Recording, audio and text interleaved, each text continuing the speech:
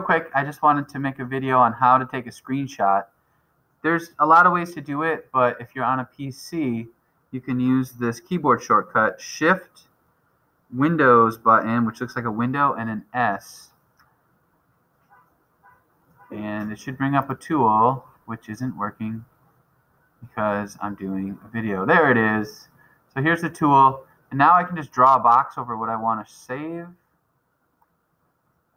And it's going to, it's going slow, but it's just copied it.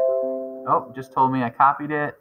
And then you can go to a Google Doc paste it. So if you're trying to make a logo and you're not using Adobe um, Spark, or you're using one of these free websites like I was just on, you can take a screenshot. I don't want you to have to make any kind of an account. So um, yeah, it's just a little how-to for using the tool. It's Shift, Windows, and S, and that'll bring up the tool.